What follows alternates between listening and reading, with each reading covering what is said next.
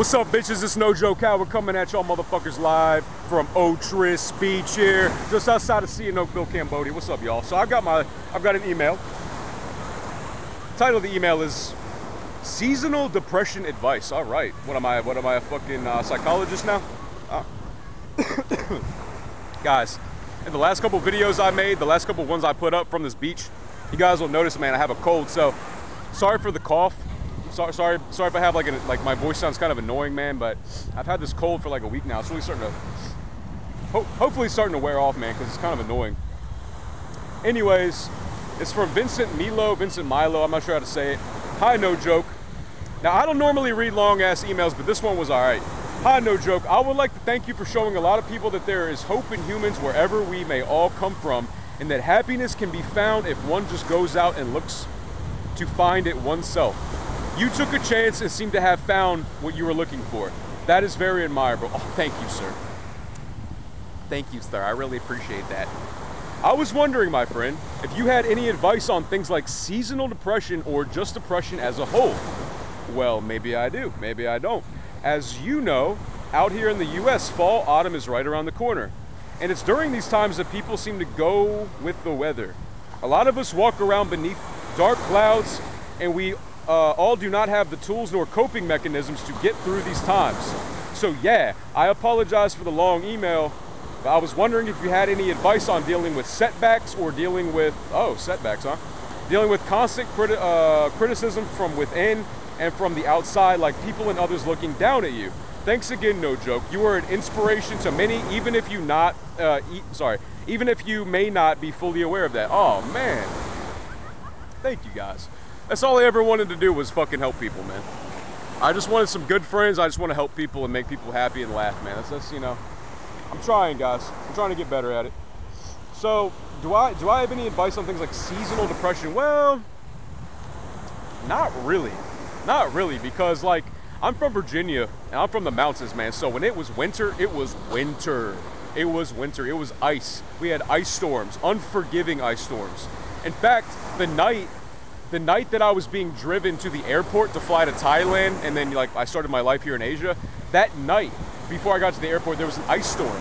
So my brother and I were driving my my pickup truck over the Appalachian Mountains, right right over the Appalachian Trail, right there in uh, right there in Virginia, um, on the Clarke County Loudoun County border on Route 7. In, ca in, case you guys live out there, you might you might know. And um, there was an ice storm, man. So yeah, man. And I it, it never depressed me. In fact, I always like fall. In fact, my favorite season is fall. I like dark skies, and I like when the trees change colors. It doesn't make me depressed. I live here in Cambodia where it's warm and sunny all the fucking time, and I get depressed all the, I mean, so weather doesn't affect my, my mood really. Like, it's kind of a cloudy day out today. If you guys notice, it, it, notice it's very overcast, and I feel, I feel damn peachy today. So um, I don't I don't really have much to say about seasonal depression, man. I think I think you just need to stop being a little bitch. I, I actually have a friend here. Um, I'm not gonna say her name. I'm not gonna say her name. She might not want me to do that, but um, she's from Siberia, which is you know it's like like the Asian part of Russia. That's like like 80% of Russia is is Siberia. In case y'all didn't know.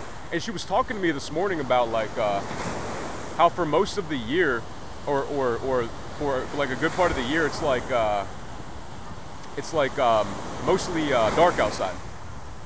It's mostly dark outside because it's because it's usually winter. She said like nine months out of the year, and that people do get depressed and and it's very tough. Like life is hard up there because of the weather. So, uh, but she seems to be doing all right.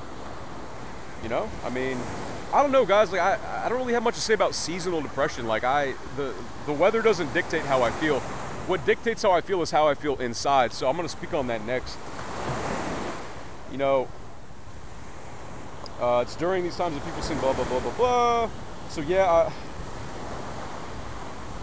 how to, what, dealing with setbacks. Yeah, setbacks. Let me talk about that real quick. Now, if anybody has accomplished anything in their lives, whether it's putting out an album, like, like, like a music album, whether it's writing a book, whether it's starting a business, whether it's moving to another country and starting a new life, you guys have had setbacks. A setback is like a pothole in the road. You know? A setback is when your shit gets fucked up and then it takes you longer to achieve your goal.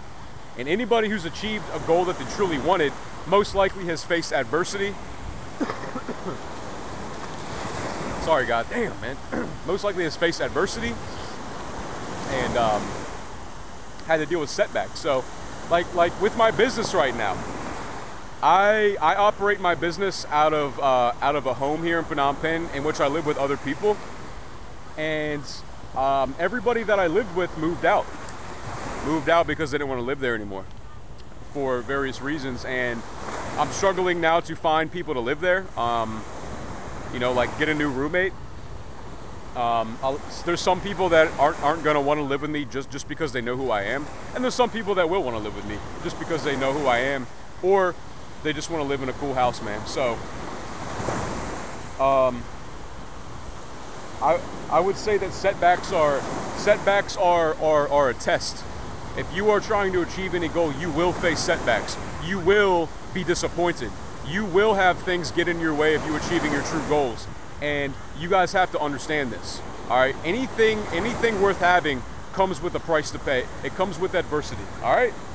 I digress and dealing with constant criticisms from within and the outside. Yeah, like I was saying, it, it, it's it's not like the weather that makes me depressed.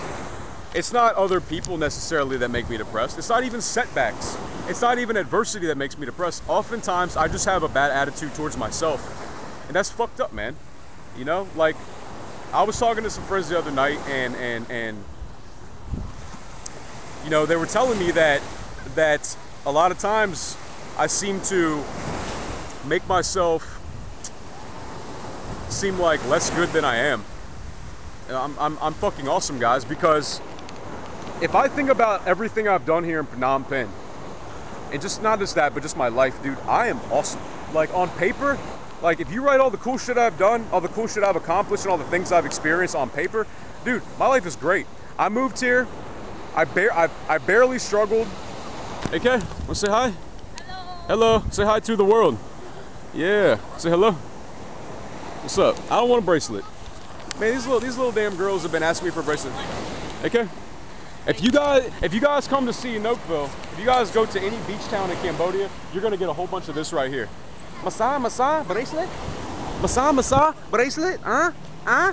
So I've been having to tell I've been having to tell motherfuckers all day long. Achong, achong. I, I don't want a massage. I don't want a damn bracelet. I don't want your services. I want to be left alone. I want to chill with my friends. I digress. I digress. The hell was I even talking about, man? Um, yeah. So like, my life is great, guys. So always, always think of the, the, the cool shit that you've done. Whenever you start to doubt yourself, whenever you start to doubt yourself, man, always remember what you have accomplished. And you know, I'm, I'm, I'm about to turn 28 years old and I've already done this much in my life. I moved to Phnom Penh not knowing a single fucking person. I barely struggled. Really, I mean, yeah, I had my bouts with depression, but looking back on it, I, I had no reason to be depressed. I have back there, I don't know if you guys can see, but I have some of my good friends back there. I've got my mother here. My mother's here with me. And we're both having a good time. We're all having a good time here, man. I mean, I wanted to start a business uh, personal training business. That's that's what I do. I I never thought I'd start a YouTube channel, but I have, and it's turned it's worked out very well for me.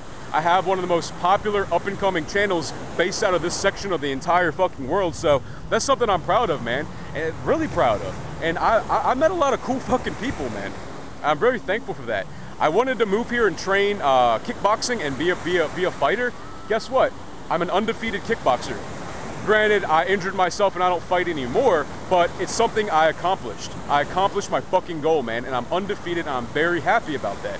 And now I now I teach people how to fight. I teach people how to be fit, and I'm very good at what I do, and I make money at it.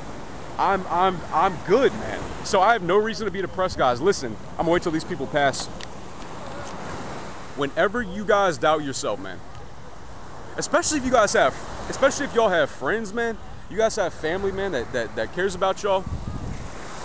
Doubting yourself is the is the most unproductive thing that you can ever do in your life. Let me check my time.